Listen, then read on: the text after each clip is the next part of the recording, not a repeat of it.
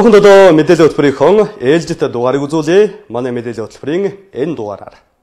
Төсвийн татцгал хэлэлцэхгүй бол нэг хүүхдэд оногдох мөнгө буурна. 24 цаг гэрэлтэй өрөөнд торих нь эрүүшүүлт. Монголчууд захим орчинг зөв зохистой ашигладаггүй. Сар шинийн баяр ойртох тусам ууцны үн нэмэгдэнэ. Монгол улсын тэгээс 18 насны 1 сая 32 мянган хүүхдэд хүүхдийн 20 мянган төгрөгийг тарааж байгаа. Гэхдээ энэ нь бас хэлж өрхийн амжиргааны төвчнгээр ангилж ялгууртай болох засгийн газрын тогтоол гарсан байдаг. Тэгвэл өнөөдөр нэн яралтай дэгээр төсвийн банкын хороо тогтоолын төсөл өөрчлөлт оруулах асуудлыг хэлэлцсэн байна. Улсын их хурлын төсвийн байнгын орны өнөөдрийн хуралдаанаар тогтоолд өөрчлөлт оруулах тухай тогтоолын төслийг хэлэлцлээ. Учир нь улсын их хурлын 103 дугаар тогтоолыг улсын их хурлын дарга энх болтын захирамжаар нэн яаралтай дэгээр хилцүүлэхээр болсон юм. 2016 онд хүүхдийн мөнгийг олгохдоо хүний хөгжил сангийн мөнгийг багасгаж батлаад байгаа юм а. Харин өнөөдрийн хуралдаанаар улсын их хурлаас гаргасан 103 дугаар тогтоолд өөрчлөлт оруулах асуудлыг байнгын хороогоор хэлэлцүүлсэн юм. 103 дугаар тогтоолоор Монгол улсын нийт өрхийн 1-ээс 17 дугаар бүлгийн өрхийн тгээс 18 настай хүүхдэд сар бүр 20 мянган төгрөгийг болох юм а. Энэ нь нийт төрхийн 58.2% нь бөгөөд 601.1 мянган хүүхэд юм. Харин 18-аас 20 дугаар түвшний нийт төрхийн 426.3 мянган хүүхдэд 2016 онд хүүхдийн 20 мянган төгрөг авахгүй байхаар тусгажээ. Тэгвэл энэ тогтоолыг өөрчилснөөр Монгол улсын 1 сая 32 мянган хүүхдэд хүүхдийн мөнгийг алагчлалгүй олгох зорилготой юм а. Хүүхдийн мөнгөний хувьд бол э, төсөв өргөн баригдаж явах үеийн тооцоол бид бас ярьж исэн. За энийг бол одоо зорилт бүлэг рүү олгоё гэд ингэж орж ирсэн 16 оны төсөв бол за мөн одоо 15 оны төсвийн тодтолч гэсэндээ хамтарсан засгийн үед энэ хүүхдийн мөнгийг бол зорилт бүлэг рүү олгоё гэд тухайн үед орж ирж ирсэн та тэр бол их хурл дээрээс буцаж исэн юм аа. Тэг яг өнөөдөр э, судалгаа хийгдээд он гараад энэ бүлэг тодорхойлогдоод ингээд ирсэн чинь бас э, нэлээд их хэмжээний хүүхдүүд бол эндээс бас хасагдах ийм судалгаа тооцоо гарсан байна л да. Тэгээ энэний дагуу бол одоо бид э, энэ тогтоолын тогтоолдоо бол өөрчлөлт оруулах ийм санал оруулж ирж байгаа юм. За энэ журам дотор бол 3 жил тутамд шинчлэхээр ийм журам байгаа. Тэгээд энэ судалгаа хийгдсэнээс хойш өнөөдрийн байдлаар 662 мянган өрх хамрагдаад явж байгаа. Үлдсэн хувь 86%-аас үлдсэн ягаад хамрагдахгүй вэ гэхээр энэ бол бас яг албадан судалгаа биш хувь хүн бол бас энэ судалгаанд би хамрагдахгүй хариулт өгөхгүй гэд одоо судалгаанд хамрагдахгүй байх юм тохиолдол байсан учраас үлдсэн 14% бол ийм одоо хүмүүс үлдсэн. Салбар яамнаас гаргасан судалгаагаар өрхийн амжиргааны төвшин тогтоох судалгаанд хамрагдаагүй нийт өрхийн 14% нь буюу 297,475 хүүхэд байгаа юм. Эдгээр өрхөд дахин үнэлгээ хийх шаардлагатай бөгөөд ингийн тулд улсын төсвөөс 993.9 сая төгрөгийг зарцуулах шаардлагатай байгаа. Хэрвээ нийт өрхийн 14% нь буюу 89.2 мянган өрхөд судалгаа хийхгүй бол дээр хүүхдүүд хүүхдийн мөнгө олгогдохгүй шууд хасагдах эрсдэлтэй байгаамаа. Энэ одоо мөнгийг олох шаардлагатай гэж Монгол Ардын намын бүлгийн гишүүдийн өргөн барьсан тогтоолын төслийг өнөөдрийг болтлоос хилцүүлээгүй байсан. Тэгээ өнөөдөр хилцэгдэхээр орж ирж байгааг бол зарчмын хувьд бол дэмжиж байгаа. За тэгээд нэг зүйлийг бол түүх ярих хэрэгтэй гэж бодож байгаа. 2006 онд Монгол Ардын намын дарга одоо гийн дарга инхвалд ерөнхий сайдах үед энэ хүүхдийн мөнгийг олгож хэлсэн юм а. Тэр үед бол манай улсын эдийн засаг бол тийм одоо өндөр өсөлттэй мөнгөтэй бас байсан үе биш Гэхдээ хүүхдтэй ялгуургүйгээр энэ мөнгийг олгож эхэлсэн байсан тийм үе. Ер нь гэхдээ энэ төр гэж байгаа бол төрийн бас нэг өөр энэ ард түмэндээ бид нар ер нь энэ халамжийн тогтолцооны зөв бүтцийн талаар бас ярьж ойлгуул таниулах хэрэгтэй шүү дээ. За өнөөдөр 5 хүүхэдтэй айл бай гэж бодъё. Тэг чи одоо 100 мянган төгрөгөөр сарыг. Одоо 100 мянган төгрөгөөр бид нэр айлыг тижээн гэж ингэж бодож сэтгэхийн оронд ажлын байр бий болгож өгöd. Тэгээ нэг 300-аас 500 мянган төгрөгийн цалинтай болгоно гэж ингэж төр нь бодож явдгсан болвол тэр айлын амьдрал дээшлэн шүү дээ. Яагаад энэ асуудал үүссэн бэ гэдгийг бас бид нэр ярих хэрэгтэй байна. Мөнгө байхгүй л гэж хэлсэн шүү дээ. Мөнгө байхгүй байна. Тийм учраас одоо зорилтт бүлэг гэж нэг юм гаргаж ирээ тэгээд өгдөг байвал тэгэл бүүн бужигнуулсан. Тэгээ одоо мөнгөтэй болчихсон байгаа мó гэдэг асуудал гарч ирээд байна шүү дээ. Мөнгөтэй болчихсон юм уу гэж. Судалгаанд яагаад ийм олон тооны хүүхдүүд хамрагдаагүй вэ гэд. Энд хоёр хүчин зүйл нөлөөлж байгаа. За нөгөө түрүүн туван даргын эсэлжил нийт үрхийн 14% нь судалгаанд хамрагдаагүй. За эдгээр үрхүүдэд хамрагдаагүй хоёр үндсэн шалтгаан байгаа. Нэгдүгээр үрхийн тоон үндэсний статистикийн хорноос гарсан өрсгийн тоотоос зөрүүтэй тухайн үед өрхүү задарсан нэгдсэн ийм хүчин зүйлээр цөөн тооны өрхүүд гарч ирсэн. За хоёрдугаарт судлаач маань 3 удаа тэр хаал айлын хаалгыг очиж тогшоод хэрвээ байхгүй тохиолдолд юм уу судалгаанд хамрагд байгаагүй нэг хэсэг байгаа. За гуравдугаарт очсон боловч манайх уг судалгаанд хамрахгүй гэж ийм хүсэлт гар. Ямар ч өнөөдрийн төсвийн байнгын орны хуралдаанаар тогтоолын төсөлд өөрчлөлт оруулах тогтоолыг хэлэлцэхдээ бусад ямар ч хуульд өөрчлөлт оруулахгүй мөн Монгол улсын төсөв санхүүд тааруулж хөрөнгө гаргах хүүхэд бүрт 20 мянган төгрөг олгох асуудлыг хэлэлцгийг дэмжсэн юм а. Хэрвээ тогтоолын төслийг дэмжиж явбал давхар төсвийн тодтголын хуулийг хэлэлцэх ёстой гэж зарим гишүүд үзэж байсан юм. Учир нь төсөвт тодтгол хийхгүй бол хүүхдээ 20 мянган төгрөгийн хэмжээ байгаа мөнгөндөө тааруулж хасагдах нөхцөл бүрдээд байгаа юм а. ТВ-смтэй Ариун Туя Алтан гэрэл мэдээллээ. Ашигтан малтамлын тухай хуулинд нэмэлт өөрчлөлт оруулах хуулийн төслийг өнөөдөр өргөдлийн банкын хорооны хурлаар хэлэлцсэн байна. Хуулинд нэмэлтээр 8 зүйл өөрчлөлт оруулахаар санал тусгалаа. Ашигт малтамлын тухай хуульд нэмэлт өөрчлөлт оруулах асуудлыг өнөөдөр байнгын орооны хуралдаанаар хэлэлцлээ. Ашигт малтамлын тухай хуулийн 8 зүйл заалтад өөрчлөлт оруулах шаардлага байгааг Улсын хурлын гишүүд хэлж байгаамаа. Тухайлбал тус хуулийн 33 дугаар зүйлд тогтоосон хайгуулын зарлалын дээд доод хэмжээ хит баг буюу га тутамд тэг 15-аас 10 Америк доллар байгаа нь санхүүгийн чадамжгүй иргэд хуулийн этгээдийн гар дээр тусгай зөвшөөрөл олноор төвлөрөх улмаар тусгай зөвшөөрлийг дамнах гих мэт гэмтрэг үлдэгдэх нөхцөлийг бүрдүүлсэн байна. Хууль байн байн өөрчлөлт оруулаад одоо ойлгомжгүй тодорхойгүй байдал үүсгдэг. Энэ байдлыг бол бас арилгах үүднээс олон нийтийн оролцоотой ялангуяа төрийн бус байгууллагууд дин оролцоо хангасан тийм бодлогын зөвлөл гэдгийг бол уулар хаймны дэргэд одоо байгуулад ажиллаж идэг. Ямар нэг асуудалд өөрчлөлт оруулахдаа бол энэ олон нийтийн оролцоотой төрийн бус байгууллагуудын оролцоотой, мэрэгжлийн байгууллагуудын оролцоотой энэ бодлогын зөвлөлөөр хилцүүлж байж тэгээ сайдын зөвлөл тэгээ засгийн газар гэн шатараатай одоо хилцүүж энд өөрчлөлт оруулах асуудлыг бол бид хийж байгаа. Сүүлийн жилүүдэд тусгай зөвшөөрлгөө баяжуулах баяжуулах одоо үйлдвэрүүд их баригдсан амнат гэж яриад байгаа юм да ашигт малтмалын нөөц ашигтны төлбөрийг өгдөггүй байдал маш гадар авсан. Эдэнд өмнөх одоо яамдуудыг бодвол бас хийх хичээж байгаа, ил тод байхыг оролдож байгаа энийн иргэний нийгэм тэр дундаа малчин ард иргэдийн эрх ашигыг хамгаалах байдлаар бас ажиллаж байгаа. Гэхдээ уул уурхайн яамн дээр гажуудал доголдол их байгаа. А бас хичээж байгаа юм би. Одоо энэ удаад бүр онцолж би хэлэх юм бол маш их одоо ашиг малтмлын томоохон үндэстэн дамсан корпорациудад шийдвэрээ худалдаад байна уу гэсэн тийм хандлагуудаар баримт материалтай зөвлөдөө бас би ерөнхий сайд руу өнөөдөр явуулж байна. Мөн тус хуулийн хүрээнд тусгай зөвшөөрөл олгохдоо хуульд заасан журам зөрчиж олгосон нь тогтоогдсон хэдий ч тусгай зөвшөөрлийн хүчин төгөлдөр байдалд нөлөөлөхгүй байгаа нь хуулийн хэрэгжилтийг хангахгүй байгаа гэж үзсэн юм а. Ашигт малтамлын тухай хуулиар төрийн эзэмшлийн хувь хэмжээг стратегийн ач холбогдол бүхий ашигт малтамлын ордын ашигт малтамлын нөөц ашигласны төлбөрөөр орлуулах болсон нь төрийн хувьд тохиролтой алдагдaltaй нөхцөл байдлыг үүсгэдэг учраас үүнд нэмэлт өөрчлөлт оруулах шаардлагатай гэж үзэж байгаа юм. ТВ-смтэй аримтуя алтан гэрэл мэдээллээ. Ардчлалын алтан хараацай зориг агсны эхнэр булганыг Төв аймгийн урьдчилан хорийнход төвд саатуулаад 2 сарын хугацаа өнгөрч байна. Гэтэл цагдан хоригдож байгаа булган руу эргэлт оруулахгүй байгаа 2 сар болоход 2 хүн удаа хувцсын сольсон талаар түүний ээж мэдээлэл өгсөн байна. Одоогоос 2 сарын өмнө зориг агсны эхнэр булганыг 17 жилийн өмнөх хэрэгтэй холбон шалгаж ихсэн гэх мэдээлэл хэвлэлээр гарч байсан ч өнөөдрийн хүртэл булганыг яг ямар хэрэгээр цагдаа хорж шалгаж байгаа талаар албан ёсны мэдээллийг хуулийн хэлтийн байгууллагаас өгөөгүй бүр хууль зүйн сайд дорлогжиг хүртэл ямар хэрэгээр шалгаж байгааг нь мэдэхгүй гэж байр сууриа илэрхийлсэн байдаг.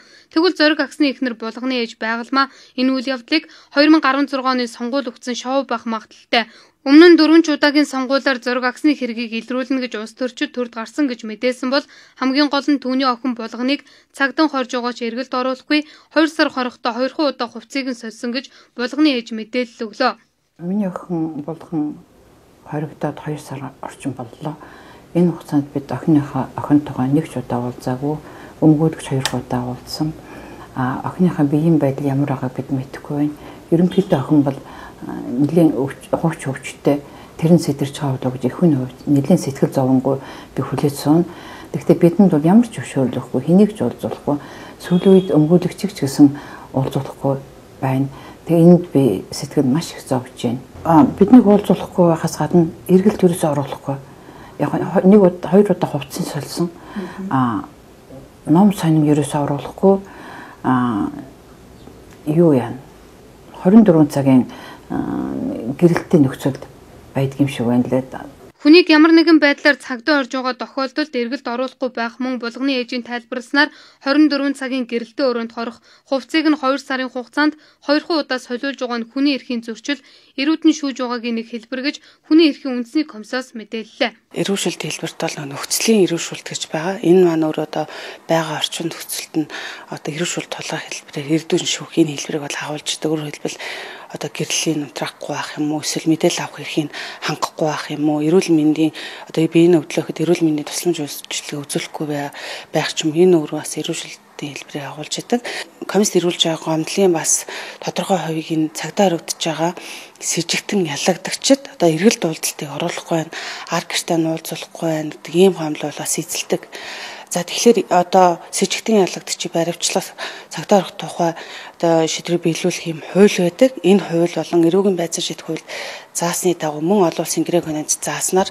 тухайн одоо хэрэгт холбогдсон хүн маань одоо сэжигтэн ялагдагч маань а одоо ар гэрээс эргэлт уулзалт авах нь бол нээлттэй байдаг. Тэгэхээр энэ эргэлт уулзалт авах эрхийг ямар нэгэн хуулийн үндэслэлгүйгээр хязгаарлах нь өөрөө хүний эрхийн зөрчил.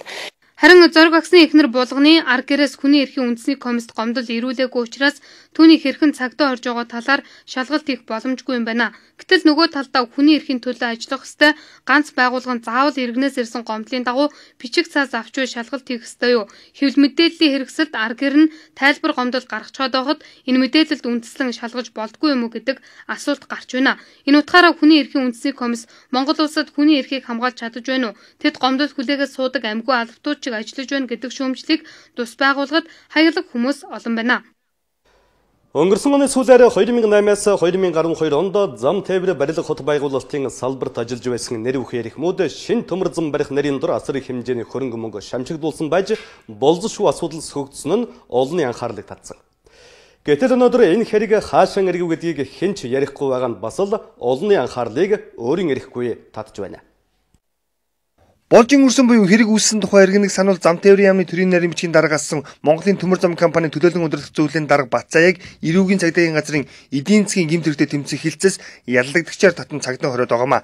Түүнийг бусадтай бүлэглэн их хэмжээний мөнгө угаасан байж болзошгүй хэрэгт буруутхан эрүүгийн хэрэг үүсэн шалгаж байгаа юм. Уг хэрэгт ухаан худаг гашуун сугаатын чиглэлийн төмөр замын ажлыг гүйцэтгэж байсан Өмнөд Солонгосын Samsung City and компани захирал Ли Жонг Йодогч мөн шалгаж байгаа бөгөөд Liberty Partners компани захирал Ганбат Монголын төмөр зам төрийн өмчт компани дэд захирал Бат Эрдэнэ нарыг Интерполоор эрен сурвалжиж эхэлсэн байдаг юм а. Тэгвэл их сурвалжийн мэдээлснээр Бацаа нарын хэрэгт улсын их хурлын гишүүн Батулга, улсын их хурлын дарга инх болдын зөвлөх ганц өх нарыг эрүүгийн цагдаагийн хилцэн эдийн засгийн гимт хэрэгтэй тэмцэх хилцээс ч мөн сэжигтнэр татан байцааж эхэлсэн тухай мэдээлэл гарч мөн улсын их хурлын гишүүн Батулга болоод зөвлөх ганц өх нарыг гадаад явах эрхийг нь хоригдж гэх мэдээлэл гараад амжсан. Асуудлын гол нь тэднийг албан тушаалаа оруулан ашигласан хэрэгт сэжиглэж байгаа гэсэн тэгвэл мэдээлэл гарсан даруйд их хурлын даргын зөвлөх ганц өх надад огт хамааралгүй гэсэн тайлбарыг биечлэн хийгээд амжсан бол X сайд бөгөөд их хурлын гишүүн Батулга өнөөг хүртэл таг дугуй байгаамаа. Харин найдвартай тэмцэх газар зам тээврийн төрийн нарийн бичгийн дараа гасан Бацаа нарт эрүүгийн хуулийн 166 дугаар зүйлийн 166-гийн 2 заасан үндэслэлээр эрүүгийн хэрэг үүсгэн шалгаж байгаа гэхээс өөр ямар нэгэн зүйлийг одоогор яриаггүй. Тодорхойлбол төрөөс 250 сая Америк долларын хэрэгт хин хин яг холбогдоод байгаа хэргийг хэрхэн шалгаж байгаа талаарх мэдээллийг мөрдөн байцаалтын нууц нэрийн дор халахлаад өнгөрөх сонирхлыг агуулж байгаа бололтой. Тэгвэл энэ хэрэгтэй холбоотойгоор бас нэгэн баримт олон нийтэд ил болсон байдаг. Ингэхдээ Монголын төмөр зам төрийн өмчт компани Чингис Бондын мөнгнөөс 199.1 сая Америк долларыг Samsung CNT компани данс руу шилжүүлсэн явдал харин Samsung CNT компани туслан гүйцэтгэж 13 компанида 65 сая Америк долларыг хөрш шорооны ажлын хөлс болгож шилжүүлсэн гэдэг харин үлдсэн мөнгө нь юунд зарцуулсан болох нь одоогор тодорхойгүй байгаа. Зарим их сурвалжийн мэдээлж байгаагаар Samsung CNT компани дансанд орсон мөнгөний тодорхой хэсэг болох 134 сая Америк долларыг улсын их хурлын гишүүн Батулга болоод зөвлөх ганц өх нарын нэр бүхий 5 хүний дансанд шилжин орсон гэдгийг хэвлэлүүд ч мөн онц онцлож байсан удаатай. Иймээс энэ хэрэгтэй холбоотой эрхмүүд нэрээ мөрдөн байцаалтын нууц нэрийн ард даруулчих уу гэдэг хардлагч бас төрөөд байгаамаа. Эдрээсэн хүйтэн эд дундаан орж байгаа эдгээр өдрүүдэд ихэнх нутгаар хүйтнэрч чангар төлөвтэй байна. Өнөөдрийн байдлаар 47 градус хүртэлх хүйтэрсэн байна. Энэ жилийн хувьд Монгол орны нийт нутгийн 80% цасан бүрхүүл тогтсон. Цаашдаа ч олон жилийн дундажаас ахиу цас унаж хүйтэрхийг цаг үр орчны шинжилгээний газраас анхааруулж байна.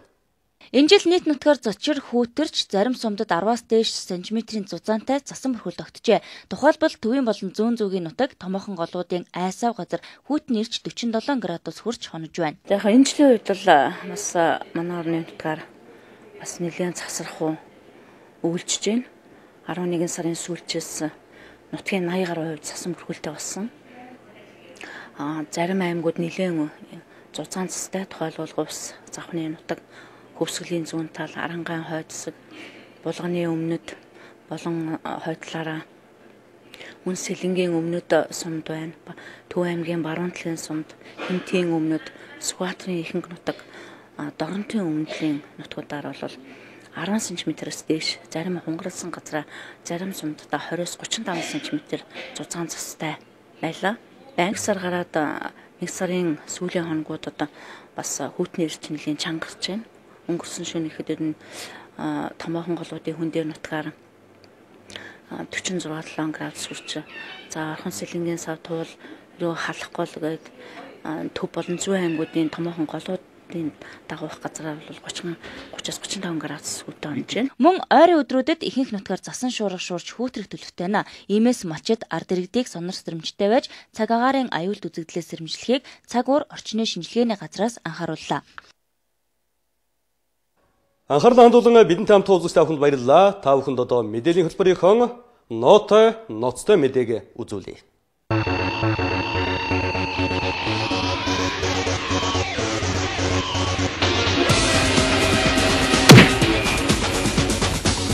Сүүлийн үед ер нь хүний хүн чанар гэдэг хөлийн жигчүү хуруугаар нь салаад унчсан нөхцөл түлхүү ажиглагддаг боллоо. Нэг л их сайхан нөхөд наалд өөдөөдөөс харж инээ цууж угаад жаахан ирэхшгийн төлөө нөгөө нөхрөө олон нийтэд ижиг доог болгодог болчихж янз бүрийн техник технологи ашиглаж байгаа ярьсан яриа гаргасан авир ахуусан зургийн тэрийг зүгээр л үзүүлдэг болчихж тэгэхээр хүний нэр төр гэдэг хинэгний гар утсанд л бичигдэж явдаг болсон гэсэн үг. Нөгөө талаар нөхрөлийн үнцэн хамтран ажилласны ихтгэлцэл гэдэг юм долоон уулын цагуур далд орж байна. Өөрт ашигтал бол нөхрийнхөө алдааг төмөн олонд үзүүлдэг. Тэгээ сүулт нь уушлахгүйгээд боллоо. Харин ашиг хонжоо хайш өөрийнхөө өчүүхэн нэр төрийг жаахан дээш нь татах гэж оролдохын хариуд өөр нэг хүн ясмин хуурахгүй яавда гэж үлддэг болчихлоо. Гар орой сайхан зураг авахулцдаг дараа нь хүнд надтай ингэж гар орж ялаа. Харин одоо гэдэл бичээл гүтгээд доромжлоод явдаг болчихсон. Ер нь техник технологи хөгжихийн хэрээр хүний мэс чанар улам өнгөдөж харин олон нийтийн сүлжээнд одоолох гэсэн ахархан бодол улам дэше өндөдөг болж. Одоо тэгээд хиндэ итгэж юу ярьж ямар зураг авахулж амьдрах болж байна. Алтан хөдөргөх цум нүүлгэх хэмжээнд чадварцсан нэг том компани баруун хязгаарт бий. Баянбазар гэдэг эрхмийн энэ компани эдийн засгийн хямрал гэдэг нэрээр уурхад ажиллаж хөс хүчээ өргөсөн өөрсдөд нь ашиг орлого авчирсан ажилтнуудынхаа цалин өгүүлгүй бараг 8 сар болж байгаа гэсэн. Зарим хүмүүсийн амралтын мөнгийг 2 жил өгөөгүй. Ихэнх ажилтныхаа нийгмийн даатгалыг бөглөөгүйгээд өчтөчнөө асуулаар ирэх ашиг зөрчичгөөд байна. Гэтэл том санхүүжилтээ бид хүлээж байна. Ороод ирэхээр та нарын мөнгөг өгнө гэж хэлж жил дамнан арга цааж байгаа нөхдүүдэд улсын мэрэгжлийн хяналтын ерхий газар нэмж торгуул тавих нь тодорхойллоо. Нийгмийн даатгалын шимтгэл гэхэд бараг 2 тэрбумыг өгөх ёстой. Алтан хөдөр ажилчдын хэрэг шиг зөрчсөний төлөө 4 тэрбум төгрөгийн торгуул хүлээх гэж байна. Бас ажилчид нь хэрвээ хүсэх юм бол алдан тооцож хохирлоо барагдуулах мөнгийг шүүхээр нэхэмжүүлвэл бас л тэр хэмжээний мөнгө нэхэгдэж магадгүй юм. Баян базар ганцаараа баян амьдарч ажилчийн ангийг ад үзэж байгаа бол торгуулаад сууж байхаас өөр яах вэ? Алтан хөдрийнхэн компанийн гадаа жигсэж байна. Хасаг 30 хэм жигсэж байгаа тэд эрүүл мэндийн хохирлооч нэхэмжилж мэднэ. Ажлуус нь үнийн бол цалингийн өгчгөөчтэй. Одоо бас ямар харга сам хайгаад байгаа нь бас сонио юм. Энэ засагч чинь зүгээр л ажиллаа хийчихдэг хүн ерөөсөө байдаггүй бол доо. Заавал ямар нэг их ашгийг төлөө явж байдаг гэсэн. Тендер мендер бол зүгээр л хийх ёстой ажлын нэг ойлгогдож болно. Энэ бүхнээс эрх мэдлээ ашиглаж өөр таалагдахгүй хүний ажлаас нь халдаг эсвэл эрх мэдлээрээ далаалгаж өөрийнхөө ажлыг амжуулдаг байтал бүр байх ёстой юм шиг байдалд хүрчлээ. Мяатын захирлаас нь жаргал сайхан зам тээврээсээ зөрөгтийг авилгалтай тэмцэх газар өгч байгаа юм байх. Учир нь шүүмжлэл хийснийхээ төлөө 7 хоноод ажлаасаа халагдаж тэтгэвртээ суугуулсан. Гэхдээ энэ бол асуудал биш харин бодийн гих тодорхойлолттой зөрөгцөөд голомт банка дэмцэн бодлого явуул уулзгаж боловсролын асуудал ярих сургууль хариуцдаг гişүүд суух ёсгүй гэдэг энэ нэр хэрхэн зөрчил гэдэг гин. Гэхдээ өөрийнх нь нэр дээр биш бол зориг цайд шууд хүчээр зүтгүүлж явдаг бололтой. Мятын дасыг голомт руу шилжүүлж Turkish Airlines давуу эрх олгож гэрээ хийх мэтэр өөрийнхөө эрх ашгийг өмнөө тавьж далайд гарцгүй стратегийн салбарт гадаад улсын бодлогыг дэмжиж байгаа юм байх авилгалтай тэмцэх газар одоо шалгаад л байж таа